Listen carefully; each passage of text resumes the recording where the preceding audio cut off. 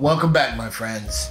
If this is your first time, my name is Alex and I make videos on watch service, repair, and troubleshooting. And it's about fucking time that there was a video explaining why it's important that watch parts are clean and how you can do it without an expensive machine. So if that sounds like something you're interested in, let's get started. One of the biggest mistakes that new people make when they're servicing a vintage watch is they take it all apart and then they do some half-ass cleaning job to clean the parts. They put it back together, they lubricate it, and then they can't figure out why the watch is not working correctly. They've completely bypassed one of the most important parts of watchmaking, and that's making sure that your parts are clean. So I want you to start thinking about cleaning your watch parts in two stages. You have pre-cleaning and then you have your final cleaning. Pre-cleaning your watch parts is important for two different reasons. The first reason is that it removes the bulk of the contaminants, the bulk of the leftover grease and oil that's on parts that you don't want going into your wash solution. By pre-cleaning your parts, it will extend the lifespan of your wash and rinses, ultimately giving you better results in the end. The second reason for pre-cleaning parts is it makes it possible for a good pre-inspection of the movement before you actually go into washing and reassembly. Many times when you're servicing a vintage watch, the parts are going to be so dirty that you can't visually inspect the jewel holes or the pivots or the wheels. So you want to get them clean so that you can see things clearly. The process for cleaning your watch parts is the same no matter whether you're using a $4,000 machine or you're doing it by hand. You want to use a four stage process. One stage is cleaning the parts, and the other three stages is rinsing the parts. First of all, there's no advantage in doing two wash cycles. If you need to use two wash cycles to clean your parts, then either you're not leaving it in long enough or your or your cleaning agent's not good enough. And using two rinse cycles is not good enough to get all the contaminants off your parts. In order for your cleaning process to be successful, you need to have all your parts clean and chemically free. Now, what do I mean by chemically clean? Well, basically, it means that you don't want any residue from your cleaning agent or your rinse left on the parts afterwards. If your parts are contaminated with residue, what it's going to do is pull the lubricants away from where you want them and put them where you don't want them. And in watchmaking, that's a no-no. Now, the purpose of the three jar rinse cycle is pretty simple. When you take the parts and spin them off from the wash cycle, it goes into the first rinse jar. Whatever's left over from the wash cycle gets diluted in your rinse solvent. That gets spun off, and then it goes into the second rinse jar. Anything left over from the wash cycle that didn't come off in the first jar gets diluted even further in the second rinse. Now that gets spun off and goes into the final rinse cycle. The purpose of the final rinse is to just get any last remaining traces of anything from the wash cycle off so that the parts come out no matter whether you're using a professional machine or if you're using this method, it's a good idea to track how many cycles you're running through the jars. In other words, how many movements are you cleaning before you start changing the fluids? When you change out your wash fluid, you just empty the jar, clean out the jar, and then add new wash fluid. Now, when you change out the fluids in your rinse cycle, you empty and clean out the first jar. This is the one that's most heavily contaminated with your wash solution. Jar number two now becomes your first rinse cycle. Jar number three becomes your second rinse cycle. And the first jar you emptied out gets clean rinse fluid and becomes rinse number three. Now there's just some basic supplies needed for pre-cleaning. The first thing you need is some sort of Q-tip. So you can use regular Q-tips if that's what you have. But the ones that I've found to be the most effective are a brand by Fran Wilson called Nail Tees. The difference with Nail Tees is that They're much denser than a regular Q-tip, and they have a nice pointed end. The other style that works very well are these surgical sponge style Q-tips. They don't release any fibers, and they have a much more pointed tip on them. So any of these will work for you. Now the next supply that really comes in handy is what's called watchmaker's paper. Now, watchmaker's paper is just a thin tissue-like paper. The main difference with it is that it's lint-free. You can use just a regular paper towel. With regular paper towels, you have to worry about the lint getting on the parts.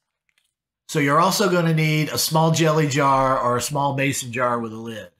This is what you're going to use to pre-soak your parts during the pre-cleaning process, as well as you'll be dipping in here as you're cleaning the parts. The next thing you're going to need is pegwood for pegging out the jewel holes. I like the 2 millimeter size as opposed to the larger size for pegging jewel holes. Although you can use toothpicks, they're not as soft and they don't form into the small pivot holes of the jewels as well as pegwood. Another good supply to have is Rodico. Rodico is useful for a lot of different things in watchmaking, but it's especially good for pre-cleaning because you can roll the teeth of the wheels through it and use it to clean off the pivots. When it comes to the solvents, professional grade watch part cleaning solutions are always going to be the best option. Brands like L&R, Zenith, and Elma all work equally well it's just a matter of choice on what you want to use. The downside to products like this is that they're expensive, ranging anywhere from 45 to $55 a gallon. And in some parts of the world, because they're considered hazardous material, you can't even get them delivered. So if it's in the budget to use these, this would be my first choice. Another viable option is a product called Naphtha, also known as lighter fluid. This works reasonably well for removing oil and grease, and is readily available in any hardware store or big box store. It's relatively inexpensive. The downside is it's a little harder to rinse off. So you need to be very diligent in your rinse cycles to make sure that you don't leave any of this behind. And whatever you do, don't soak your balance and hairspring in this. For that, you want something a little bit more specialized. As a rinsing agent, my first choice would be isopropyl alcohol, also known as IPA if you're going to use IPA, I would definitely recommend getting the 99% pure formulation as opposed to what you would find in a drugstore, which is only 70%. They're basically the same materials. It's just the 70% one is watered down.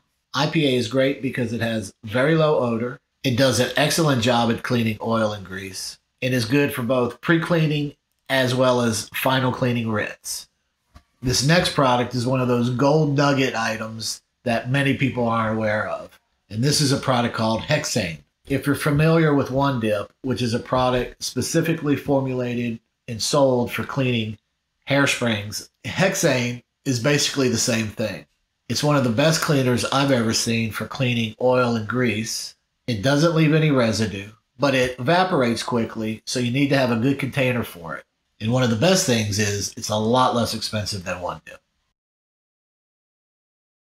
So the first thing we're going to clean is the mainspring barrel. Now, I'm not going to go through the process of opening up the mainspring barrel now, because if you're working on the ST36, there's no reason to open it. But if you're already working on a vintage watch, you already know how to open the mainspring barrel. So let me show you how to clean the mainspring.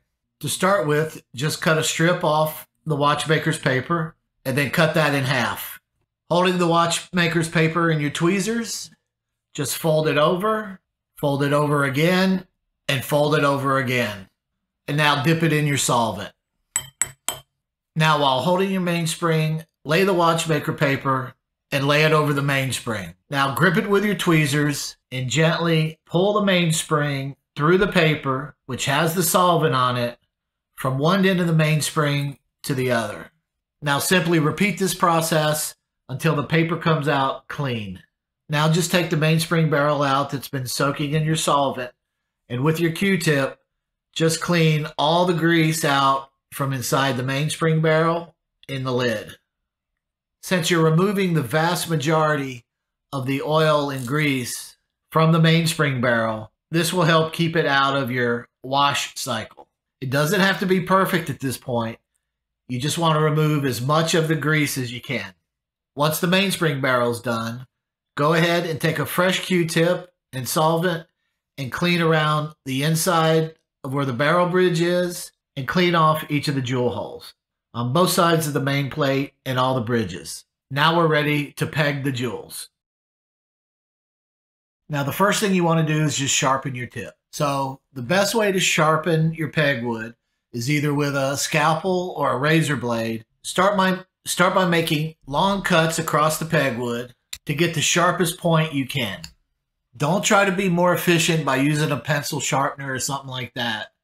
What you actually want is you want the lines, the edges of the cuts to be straight and not rounded over. That will be more effective in pegging the jewels. Now simply insert the pegwood on top of the jewel hole and lightly spin it with your fingers. You don't need to push real hard. You don't want to push it so much that you displace the jewel and just lightly rotate the pegwood into the jewel hole. Then flip it over and do the other side. Don't forget to do the barrel arbor holes in the main plate in the bridge. On the small pivot holes, the soft pegwood will make its way into the jewel essentially just burnishing off any hard dried lubricants left behind. And here's the key to the whole system. This is just an inexpensive mesh basket that I bought from one of the suppliers. I took a thin steel rod and ran it across the top of the basket, attaching it to this side of the handle and this side of the handle. Then I took a second steel rod and I attached it to this horizontal rod and I attached it again at the top of the basket. Now, I'm not a welder and I don't have any welding equipment. So, what I did, I started with a thin copper wire and wrapped it around each of the connection points to hold it in place. Then I simply took an epoxy for metal and I epoxied each of these connection points. If you're making one of these, one thing to be aware of is that the width of this bar that runs across the top of the basket really can't be any wider than the basket. Otherwise, it won't fit into the mason jar. And now what you have is a basket that will spin.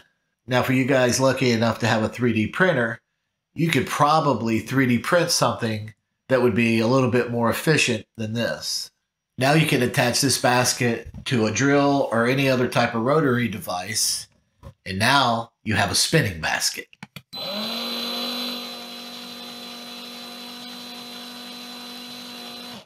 Now you can just simply take your small part holders, drop them in the basket. Now you can add your plates and bridges.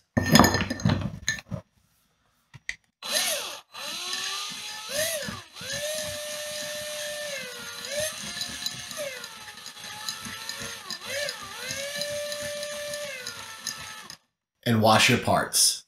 To remove the excess liquid, simply insert it into your empty jar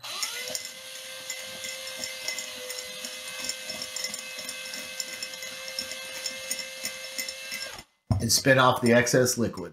And now just repeat this process through the wash cycle and all three rinse cycles, spinning off the excess liquid between each stage.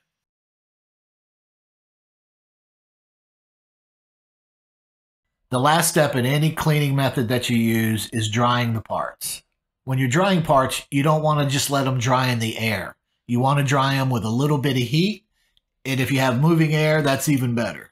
The purpose of drying with heat is to prevent any condensation on the parts.